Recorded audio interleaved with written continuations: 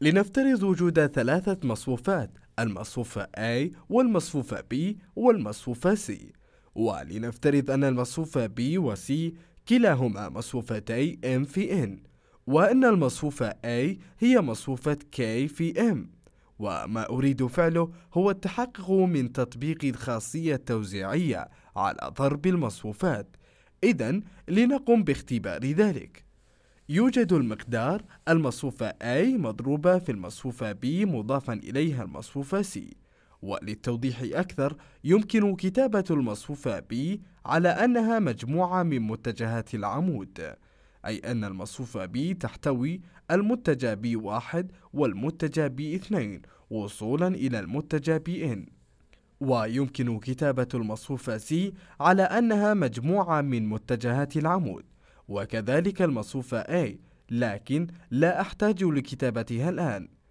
إذا تحتوي المصفوفة C المتجه C1 والمتجه C2 وصولا إلى المتجه CN ربما كان يجب رسم الأقواس بشكل أطول فهذه عبارة عن متجهات عمود وأعتقد أنك شاهدت ذلك مرات عديدة. ما هو ناتج المصفوفة A مضروبة في المصفوفة B مضافا إليها المصفوفة C. حسنا لنقم بإيجاد ناتج جمع المصفوفة B والمصفوفة C. إذا المقدار بأكمله يساوي المصفوفة A مضروبة في المصفوفة B مضافا إليها المصفوفة C. وعند جمع المصفوفة B والمصفوفة C فناتج الجمع بناء على تعريف الجمع هو جمع الأعمدة المتناظرة لكلا المصفوفتين وهذا يؤدي إلى جمع القيم المتناظرة في كلا المصفوفتين. إذا العمود الأول في مصفوفة الجمع هو ناتج جمع المتجه B1 والمتجه C1 والعمود الثاني هو ناتج جمع المتجه B2 والمتجه C2 وصولا إلى العمود N وهو ناتج جمع المتجه BN والمتجه CN وبالاستناد إلى تعريف ضرب المصفوفات ناتج الضرب يساوي المصفوفة الناتجة عن ضرب المصفوفة A في كل من متجهات العمود لهذه المصفوفة الناتجة عن جمع المصفوفة B والمصفوفة C. وهي مصفوفات M في N. وفي الحقيقة يجب أن تمتلك كلاهما نفس الأبعاد ليكون ناتج الضرب محدد. إذا مصفوفة الجمع هي مصفوفة M في N. وقلت مسبقا أن المصفوفة A هي مصفوفة K في M ونعلم أن ضرب المصفوفات محدد لأن عدد أعمدة المصفوفة A يساوي عدد صفوف المصفوفة الناتجة عن جمع المصفوفة B والمصفوفة C. إذا ضرب المصفوفات محدد. سأقوم بتغيير لون الكتابة. المصفوفة الناتجة عن الضرب تحتوي القيم في العمود الأول المصفوفة A مضروبة في المتجه B1 مضافا إلى المتجه C1 وفي العمود الثاني المصفوفة A مضروبة في متجه العمود الثاني وهو المتجه B2 مضافا إليه المتجه C2 وصولا إلى العمود الذي يحتوي القيمة المصفوفة A مضروبة في المتجه BN مضافا إلى المتجه CN هذا هو تعريف ضرب المصفوفات وذلك بضرب المصفوفة الأولى في كل من متجهات العمود للمصفوفة الثانية. ونستطيع قول ذلك لأننا قمنا مسبقا بتعريف ناتج ضرب المصفوفة في متجه. سأستمر في تغيير لون الكتابة. ماذا يساوي هذا المقدار الموجود على الجهة اليمين؟ نعلم أنه يمكن تطبيق خاصية التوزيع على ناتج ضرب مصفوفة في متجه لا أتذكر متى قمت بعمل ذلك الفيديو لكننا افترضنا ذلك لفترة من الزمن. لا يحتاج هذا الأمر إلى إثبات. يمكن إعادة كتابة الأعمدة بالشكل التالي. يمكن إعادة كتابة العمود الأول كالتالي.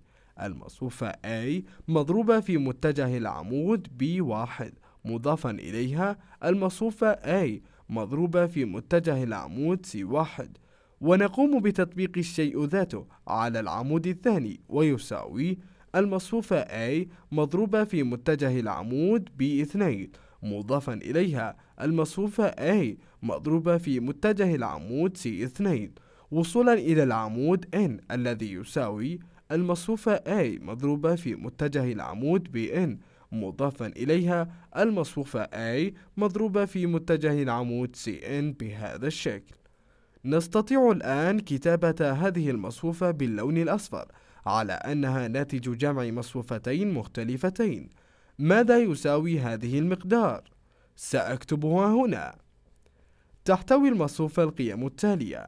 في العمود الأول المصفوفة A مضروبة في المتجه B1 وفي العمود الثاني المصفوفة A مضروبة في المتجه B2 وصولا إلى المصفوفة A مضروبة في المتجه BN في العمود الثالث. هذه القيم في المصفوفة الجديدة هي ذاتها القيم التي أضع تحتها خط في المصفوفة السابقة. ثم نقوم بإضافة تلك المصفوفة إلى المصفوفة ذات القيم التالية. في العمود الأول المصفوفة A مضروبة في المتجه C1 وفي العمود الثاني المصفوفة A مضروبة في المتجه C2 وصولا إلى المصفوفة A مضروبة في المتجه CN ومن الواضح أنه عند جمع هاتين المصفوفتين يتم إضافة متجهات العمود المتناظرة للحصول على تلك المصفوفة الموجودة في الأعلى. لكن ماذا يساوي ذلك؟ حسب التعريف هذه المصفوفة باللون البنفسجي. هي ناتج ضرب المصفوفة A في المصفوفة B وينص تعريف ضرب المصفوفات على أنه يتم ضرب المصفوفة الأولى في متجهات العمود للمصفوفة الثانية واستنادا إلى نفس الفرضية. أعتقد أنك تستطيع القول أن هذا يكافئ المصفوفة A مضروبة في المصفوفة C وكل ذلك يساوي المصفوفة A مضروبة في المصفوفة B مضافا إليها المصفوفة C. نستطيع الجزم الآن أنه عندما يكون ناتج الضرب محدد ويكون حاصل الجمع محدد أي توجد الأبعاد الصحيحة للمصفوفات فإن المصفوفة A مضروبة في المصفوفة B مضافا إليها المصفوفة C تساوي المصفوفة A مضروبة في المصفوفة B مضافا إليها المصفوفة A مضروبة في المصفوفة C. إذا تنطبق الخاصية التوزيعية على ضرب المصفوفات وعلى الأقل في هذه الحالة وأقول ذلك لأن الخاصية التبادلية لا تنطبق على ضرب المصفوفات. لذلك لا نعلم إذا ما كان المقدار المصفوفة B مضافا إليها المصفوفة C مضروبة في المصفوفة A مساويا لذلك المقدار في الأعلى. إذا لا نعلم بعد إذا ما كانت الخاصية التوزيعية تنطبق على ضرب المصفوفات. إذا قمنا بعكس ترتيب المقادير إذا لنحاول التحقق من ذلك وسأقوم بذلك بشكل أسرع. فأنا أعتقد أنك تدرك ما نقوم به هنا. لنقم بإيجاد ناتج المصفوفة B مضافا إليها. المصفوفة C مضروبة في المصفوفة A وسأكتب المصفوفة A على هيئة متجهات عمود. أي تحتوي المصفوفة A المتجه A1 والمتجه A2 وأذكر أن عدد أعمدة المصفوفة هو M وهذا صحيح. إذا وصولا إلى المتجه AM أي المتجه A1 والمتجه A2 وصولا إلى المتجه AM ناتج جمع المصفوفة B والمصفوفة C عبارة عن مصفوفة أليس كذلك؟ إذا نستطيع التعبير عنه بأنه ناتج جمع مصفوفتين بينما الناتج مصفوفة. إذا ناتج الضرب المطلوب هو المصفوفة B مضافا إليها المصفوفة C مضروبة في كل من متجهات العمود للمصفوفة A. ويساوي ذلك المصفوفة التي تحتوي القيم في العمود الأول المصفوفة B مضافا إليها المصفوفة C مضروبة في المتجه A1 وفي العمود الأول المصفوفة B مضافا إليها المصفوفة C مضروبة في المتجه A2 وصولا إلى العمود N المصفوفة B مضافا إليها المصفوفة C مضروبة في المتجه AN مرة أخرى قمت بتوضيح أن الخاصية التوزيعية تنطبق على ناتج ضرب مصفوفة في متجه في مقطع فيديو سابق حسب ما أعتقد. وبالتالي يمكن توزيع هذا المتجه على هاتين المصفوفتين. وإذا لم أكن قد قمت ببرهان ذلك فبرهانها بسيط جدا. يمكن القول أن هذا يساوي مصفوفة تحتوي القيم التالية. في المعادلة الأولى المصفوفة B مضروبة في المتجه A1 مضافا إليها المصفوفة C مضروبة في المتجه A1 في العمود الثاني المصفوفة B مضروبة في المتجه A2 مضافا إليها المصفوفة C مضروبة في المتجه A2 وصولا إلى العمود المصفوفة B مضروبة في المتجه AN مضافا إليها المصفوفة C مضروبة في المتجه AN ماذا تساوي هذه المصفوفة؟ سأقوم بكتابة ذلك. المصفوفة الناتجة تساوي المصفوفة التي تحتوي القيم. المصفوفة B مضروبة في المتجه A1 والمصفوفة B مضروبة في المتجه A2 وصولا إلى المصفوفة B مضروبة في المتجه AN مضافا إليها المصفوفة ذات القيم. المصفوفة C مضروبة في المتجه A1 والمصفوفة C مضروبة في المتجه A2 والمصفوفة C مضروبة في المتجه AN أليس كذلك؟ تمثل المصفوفة الثانية هذه القيم. بينما تمثل المصفوفة الأولى القيم الأولى في كل من متجهات العمود. وحسب تعريف ضرب المصفوفات هذه المصفوفة مكافئة للمصفوفة B مضروبة في المصفوفة A. وهذا مكافئ للمصفوفة C مضروبة في المصفوفة A. شاهدنا أن الخاصية التوزيعية تنطبق على ناتج ضرب مصفوفة في متجه بطريقتين.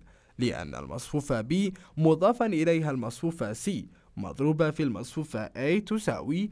المصفوفة B مضروبة في المصفوفة A مضافا إليها. المصفوفة C مضروبة في المصفوفة A.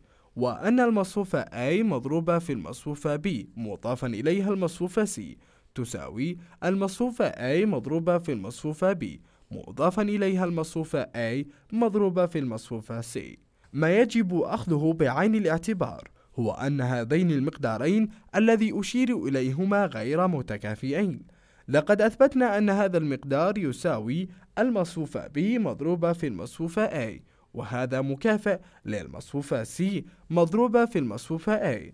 إذا تنطبق الخاصية التوزيعية بكلا الطريقتين لكن في حال ضرب المصفوفات من المهم جدا الحفاظ على الترتيب.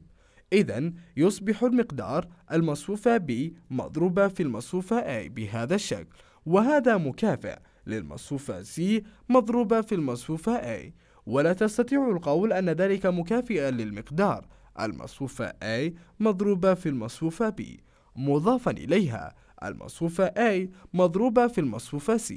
لا تستطيع تبديل المصفوفات في هذه الحالة لأننا قلنا أن الخاصية التبادلية لا تنطبق على ضرب المصفوفات مرات عديدة فلا تستطيع تبديل ترتيب هذه المصفوفات لكننا قمنا في هذا الفيديو على الأقل بإثبات أن خاصية التوزيع تعمل بكلا الطريقتين.